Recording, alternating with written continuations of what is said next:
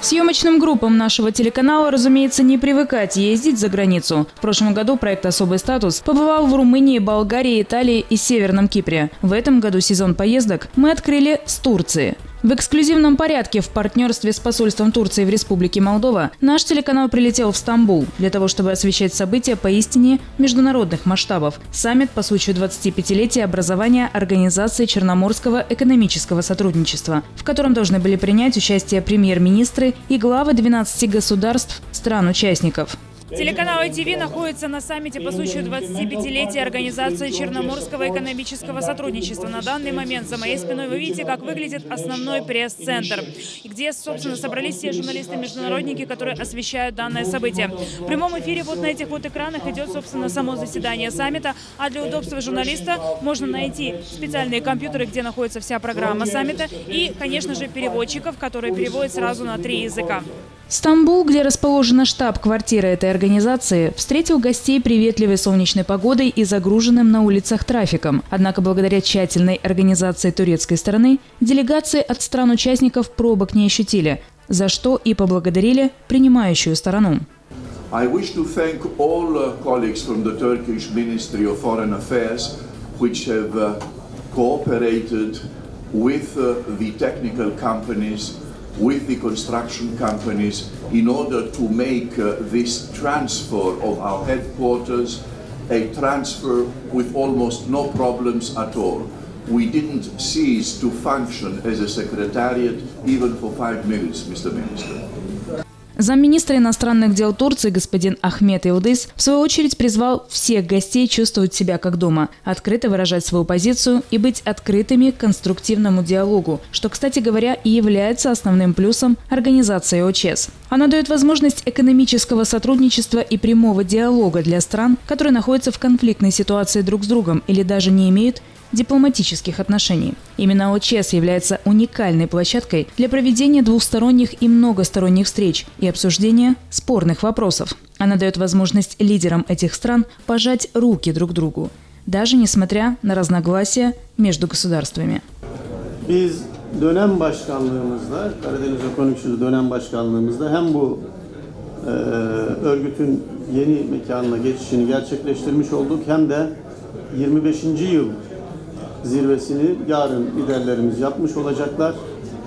Her iki e, aktivitenin de, her iki vesilenin de örgüt için hakikaten yeni bir başlangıç. Bundan sonraki çalışması için e, bir ilham, motivasyon kaynağı olmasını bekliyoruz. Hepinize hayırlı olsun. Burası dediğimiz gibi hepimizin evidir. İstanbul bütün bölgenin birçok manada başkentidir. Bütün bölge yetkilileri, halkı her zaman İstanbul'da misafirperverlik görürler. Hayırlı olsun diyorum.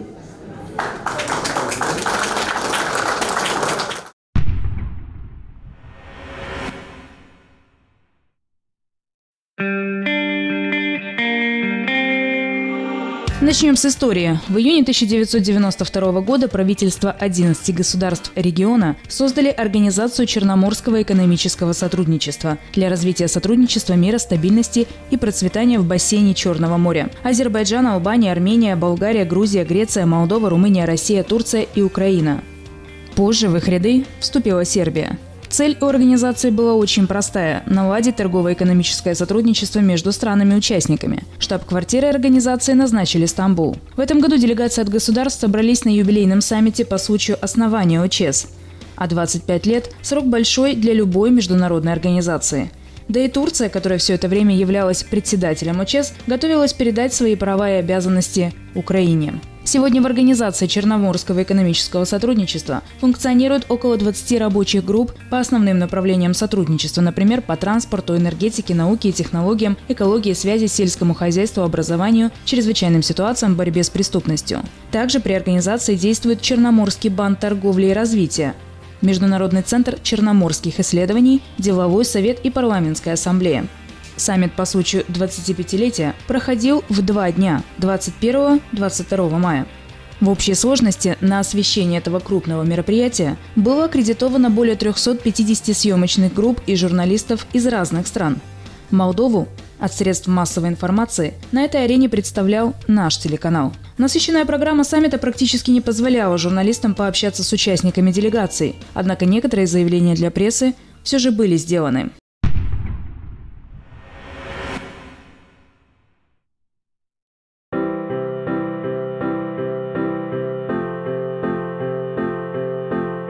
Турецкую республику на саммите представлял, а также лично встречал всех гостей сам президент Реджеп Эрдоган. Лично пожимая руки новоприбывшим участникам, он каждому напоминал, что ОЧС – это не место для политических дискуссий и взаимных обвинений. Это решение экономических вопросов. Değerli bakanlar, uluslararası kuruluşların kıymetli temsilcileri, değerli dostlar, hanımefendiler, beyefendiler, Sizlere en kalbi duygularımla, saygıyla selamlıyorum. Ülkemize ve İstanbul'umuza hoş geldiniz. Bugün çok anlamlı bir etkinliğe ev sahipliği yapıyoruz. Karadeniz Ekonomik İşbirliği Örgütü'nün 25. kuruluş yıl dönümünü siz değerli dostlarımızın iştirakiyle kutluyoruz toplantılarına aktif şekilde iştirak etmek, halklarımızın huzur ve refahına odaklı projeler için çalışmak hepimizin ortak sorumluluğudur. Bununla birlikte halklarımız arasındaki insani ilişkileri geliştirmeden diğer çabaların tek başına yeterli olmayacağı da açıktır. Üye devletler olarak her birimiz farklı dil ve kültürlere, siyasi anlayışlara, ekonomik seviyelere sahip olabiliriz. Ancak hepimizin derdi, sevinci, kıvancı ve tasası Karadeniz coğrafyasının ortak paydasında birleşiyor. От Украины на мировой арене должен был появиться Петр Порошенко. Однако зарубежные средства массовой информации писали о том, что в последний момент от участия в саммите он отказался. От России делегацию возглавлял премьер-министр Дмитрий Медведев. Азербайджан – председатель Мили Меджлиса Актай Асадов. Армению возглавлял заместитель министра иностранных дел Ашот Авакимян. Грецию – сам президент Прокопис Павлополос, Болгарию – вице-президент Ильяна Йотова. Ну и, наконец, нашу страну Молдову, которая, кстати говоря, находится в хороших отношениях со всеми странами-участниками ОЧС, представляли министр иностранных дел и европейской интеграции Андрей Калбур. Республика Молдова является э, учредителем, одним из учредителей ОЧС, поэтому для нас э, участие э, в мероприятиях этой организации не является просто для галочки. Для галочки. Мы здесь преследуем в основном экономические интересы, развитие торгово-экономических отношений со странами организации, потому что территория организации охватывает более двух миллионов квадратных километров. Э, мы говорим про, если можно так сказать, рынок в около 340 миллионов э, э, потребителей, поэтому, естественно, экономический интерес на лицо. И глава государства Игорь Дадон, который высоко оценил председательство Турции в ОЧС и отметил, что экспорт из Молдовы в страны, входящие в организацию, в 2016 году составил около 48% от общего объема молдавского экспорта, а импорт из этих стран – около 46% суммарного импорта. Кстати, со многими из присутствующих стран у нас есть двусторонние соглашения о свободной торговле. Буквально в прошлом году мы подписали и вступило в действие соглашение с Турцией, двухстороннее. Торговое пространство стран-членов организации является важным для развития внешнеэкономической деятельности нашей страны, Республики Молдова. Экспорт из Молдовы в эти страны в 2016 году составил около 48% от общего объема молдавского экспорта а импорт из этих стран около 46% суммарного импорта. То есть и по экспорту, и по импорту представители стран, которые участвуют в ОЧЭС, около половины всей внешней торговли Республики Молдова. Игорь Дадон также провел ряд двусторонних встреч с вице-президентом Болгарии, главой Греции, которого пригласил в этом году посетить Молдову, с премьер-министром Российской Федерации Дмитрием Медведевым. С премьером России Дадон обсудил целый ряд вопросов – экспорт молдавской продукции на российский рынок, решение вопроса трудовых мигрантов, ряд энергетических проектов и российско-молдавское сотрудничество в АПК. Сам Дмитрий Медведев на саммите в Стамбуле выступил с интересной инициативой. По его словам, странам Организации Черноморского экономического сотрудничества необходимо наладить партнерство для интеграционных процессов с другими международными организациями, такими как ЕАЭС и ШОС. А, вот между Россией и целым рядом стран в прошлом году наблюдался неплохой прирост торговли, но общий объем торговли стран АЧЕС, он продолжал снижаться. В чем причина? Если оставить за скобками внешние условия, которые, конечно, на нас влияют, я имею в виду внешнеэкономическую конъюнктуру, а, то в значительной степени это связано и с нехваткой инвестиций, и с некоторыми перекосами в товарной структуре, поэтому все мы заинтересованы в увеличении объемов торговли, в притоке инвестиций в регион. Думаю, что именно на этом нужно было бы сконцентрироваться в будущем. У каждой из наших стран есть реальные возможности для кооперации. Мы участвуем в соглашениях по упрощению процедур торговли, по отраслевому сотрудничеству. Россия работает в нескольких форматах. А, мы действительно развиваем Евразийский экономический союз, создавая безбарьерную среду для перемещения товаров. Наш союз открыт для взаимодействия, о чем только что говорил уважаемый президент Республики Молдова прошлом году у нас была уже создана специальная свободная зона Вьетнамом и некоторыми другими странами, поэтому нам нужно пытаться выстраивать общее пространство для всех интеграционных объединений, включая и Евразийское партнерство, и Шанхайскую организацию сотрудничества, и целый ряд других организаций. Исходя из этих э, реалий, наша организация, на наш взгляд, могла бы быть глубже встроена в систему региональной кооперации. Нужно наладить прочное взаимодействие с международными и региональными организациями, с банками, с фондами, формировать на их основе полноценное развернутое партнерство. Не обошлось, к сожалению, и без политических обвинений в адрес соседей. Так Украина заявила, что решать какие-либо экономические вопросы до тех пор, пока не будут решены вопросы безопасности, в частности конфликт с Россией, невозможно. У нас на сегодня катастрофическая ситуация в сфере безопасности в регионе Черного моря. В результате действий России, которая не просто начала и продолжает агрессию против Украины, а фактически поддерживает конфликты, в том числе в Молдове, во всем регионе. Я сегодня сказал, что организация наша находится, к сожалению, в очень глубоком кризисе. Мы должны смотреть, каким образом двигаться дальше.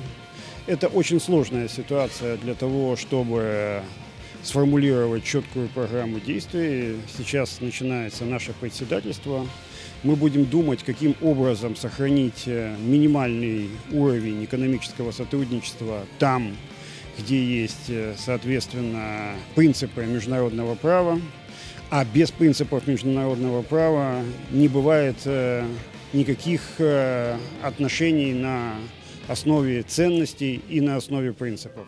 Делегация из Азербайджана отметила, что армянская сторона препятствует принятию финальной резолюции, и решать экономические вопросы она также не готова, пока не будут разрешены все конфликты. Это не ОБСЕ, это экономическая но в любом случае конфликты имеют экономические негативные э, результаты, имеют негативные гуманитарные, потому что Люди выгоняются из своих э, мест, где они живут. Экономика страдает, она не развивается и так далее и тому подобное. Поэтому я считаю, что если мы будем идти по принципу сглаживания, то это еще продлится очень долго. А времени очень мало, надо развиваться, надо реализовывать очень серьезные проекты, скажем, транспортные проекты, энергетические проекты. Вот.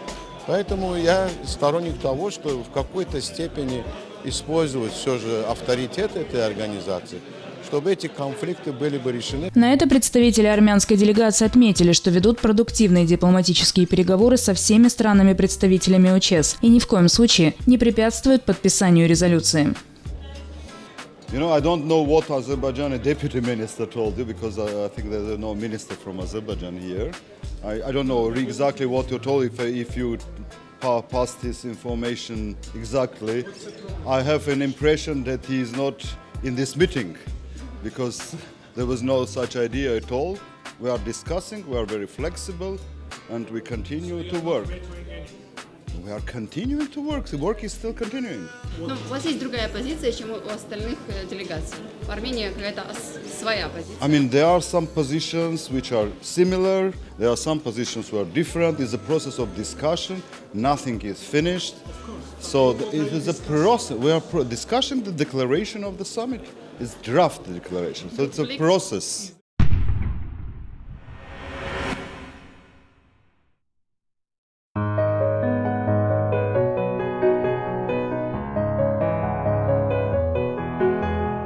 Следующий этап после приветственного слова – двусторонние встречи в частном порядке между членами делегаций. Стороны обсуждали проекты и инвестиции в сфере энергетики, экологии и транспорта, в частности, строительство общей автомагистрали вокруг Черного моря и развитие портовой инфраструктуры. В рамках саммита Россия и Турция подписали заявление о взаимном снятии ограничений в торговле. Финалом второго дня саммита для прессы стал короткий брифинг президента Турции Реджепа Эрдогана – где он подвел предварительные итоги встреч. ihtimal vermiyordu. Bu görüşleri hatırladığımızda örgütü dünya çapında hatırı sayılır bir kuruluş haline getirmiş olmamız tüm üye ülkelerin başarısıdır. Nice 25 yılları birlikte kutlamak ümidiyle bu güzel günümüzü şereflendiren tüm dostlarımıza şükranlarımı sunuyorum kuruluşundan bugüne Karadeniz Ekonomik İşbirliği'nin serencamını yakından takip eden sizlere de teşekkür ediyorum. Belgrad'da Sırbistan'dan devraldığımız dönem başkanlığını 29 Haziran'da İstanbul'da Ukrayna'ya devredeceğiz.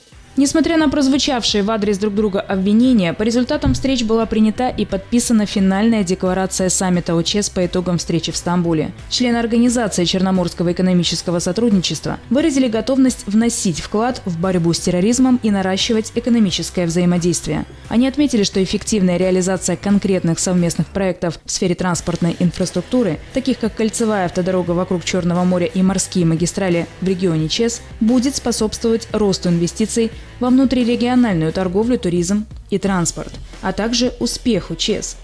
В документе также были затронуты вопросы мигрантов и беженцев. По мнению участников, масштабность нынешнего кризиса с миграцией и беженцами является беспрецедентной со времен Второй мировой войны. Страны-участники ОЧС обязались демонстрировать общее чувство солидарности и сотрудничества в целях удовлетворения потребностей и решения проблем внутренне перемещенных лиц, мигрантов и беженцев в регионе ЧЕС и за его пределами. Возвращались журналисты-международники саммита со смешанными чувствами. Усталость от большого количества работы смешивалась с чувством надежды, поскольку, наблюдая за руководителями стран из первых рядов, мы увидели главное – их готовность вести переговоры и налаживать совместный бизнес.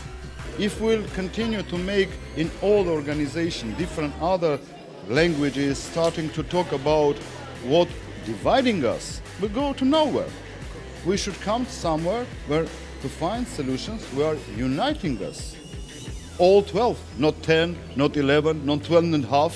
We are not talking about, you know, football team. We are talking about a 12, a consensus about interest of all 12. Поскольку любой умный бизнесмен и руководитель отлично понимает, благополучие страны и народа – это развитие ее экономики. И ради выгодных бизнес-контрактов и развития страны об обидах можно и ненадолго забыть.